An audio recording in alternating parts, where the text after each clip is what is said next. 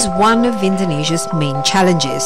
The country's tropical climate with its ensuing tropical diseases, poverty, poor hygiene, poor nutrition, lack of clean water and unhealthy lifestyles, as well as lack of family planning, pose a list of health problems for this sprawling archipelago of over 250 million people, from tuberculosis, malaria, dengue fever, to HIV AIDS, as well as increasing diabetes and lifestyle and tobacco-related diseases. Although now declared free from polio, there's still much to be done to improve health conditions in Indonesia. For example, currently Indonesia is one of only nine countries globally where HIV continues to increase. According to UNAIDS report, new HIV infections have gone up by more than 25% between 2001 and 2011. This number will continue to increase unless something is done about it. Educating the public on how to prevent getting infected, however, is no easy matter, as Health Minister Nafsiah Mboi testifies, as is putting the country's family planning program back on track.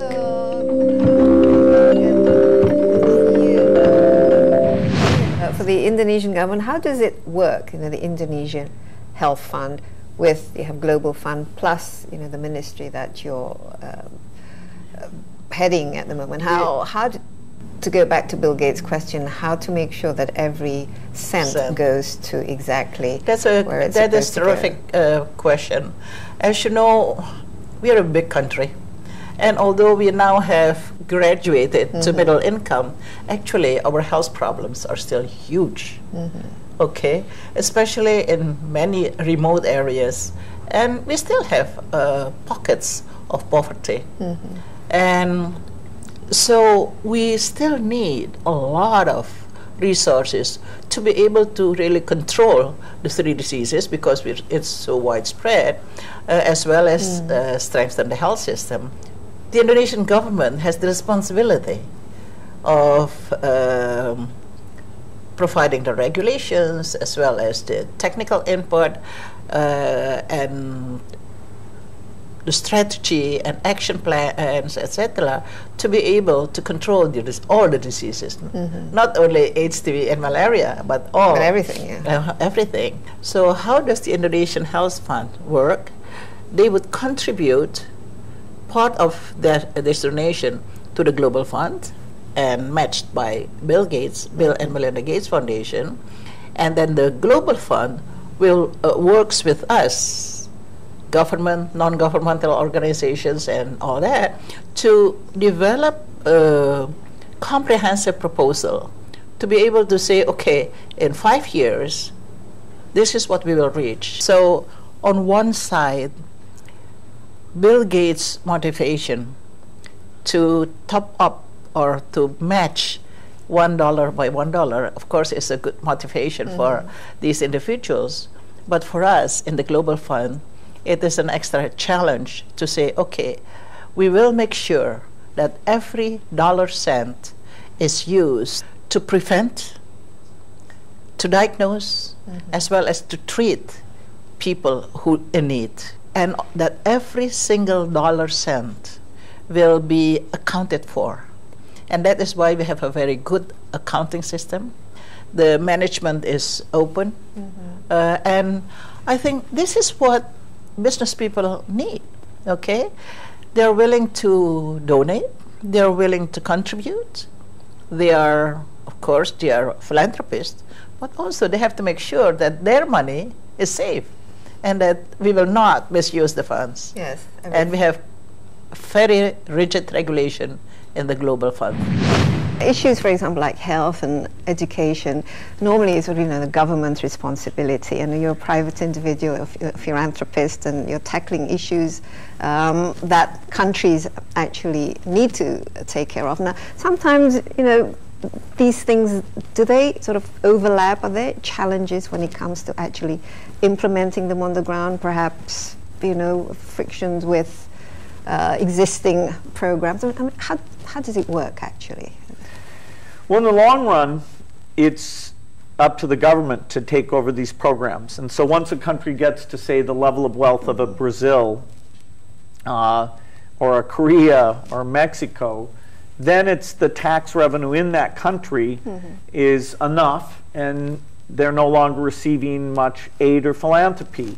And so the government is a key partner mm-hmm. to build primary health care, uh, to find the people who might have AIDS and get them tested, mm-hmm. to somebody who's coughing who might have TB, get them tested as soon as possible.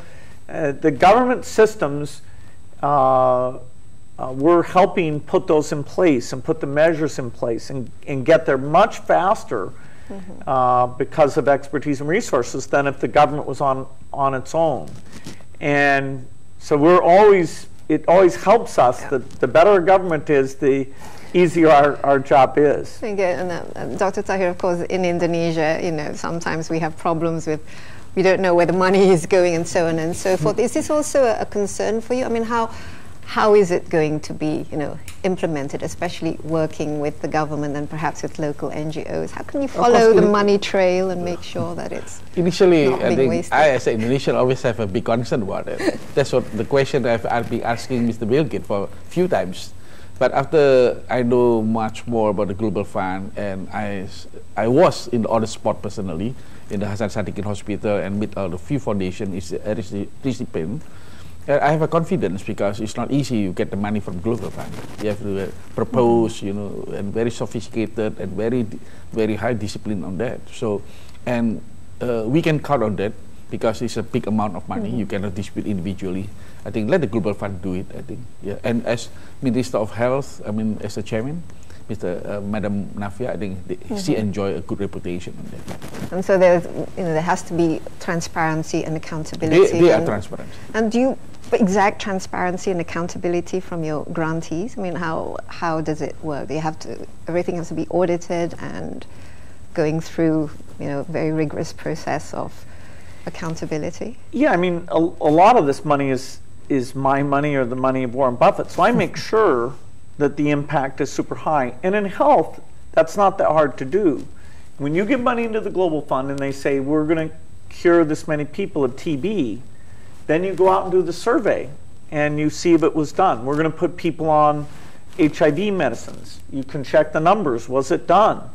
At the end of the day, you see less people dying. And mm-hmm. if you don't see that change, then you dig into okay, what happened here? Mm, are you and Melinda very much hands on the foundation? You oversee Very. I'm, I'm as hands on to the foundation as I ever was at Microsoft. so, this, so this is how you spend basically the greater part of your days these days.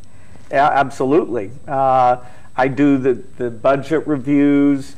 And we're also lucky we because this is such a meaningful type of work, we're able to hire in very talented people to come and, and work on this. But at the end of the day, I can say to Warren Buffett, who's given a lot of the money in our foundation, mm-hmm. Warren, I am watching your money. Uh, and we are per dollar Mm-hmm. We're having more impact than any other way you could give that money. Now, you know, with Bill and Melinda Gates, you know, your names are very much attached to this, and I'm just wondering about, you know, the sustainability of it. Say one day uh, you're no longer there to, you know, really. Be, I mean, what what kind of um, I don't know, uh, future plans do you have to make sure that this foundation is sustainable for it's 10, 20, 30? It's not. No, we're this foundation will spend all its money uh, within 20 years of when Melinda and I aren't around. So this foundation is aimed at providing health equity, that mm-hmm. every child in the world has health equity. And that's achievable in our lifetime. Mm-hmm. And all our resources should go against that.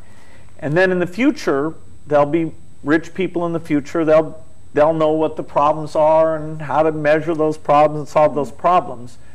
Uh, and, and so this is not supposed to sit around and you know put my name on buildings or something. Uh, it will disappear. Why, why is that? I mean, because this is you know. Because I don't. Just the I amount know, of funds. I know these resources can be used on global health during my lifetime and, and for a few decades the, the direction, mm-hmm. the excellence will maintain itself.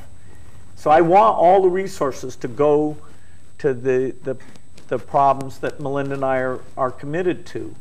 And then I won't be around, uh, but other people will be here, uh, understanding what new problems come along.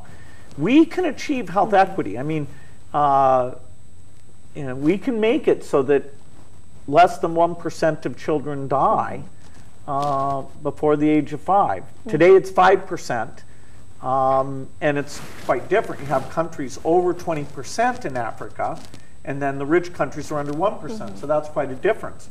So we want to get all the countries down below 5%, all the countries below 2%. That's equity.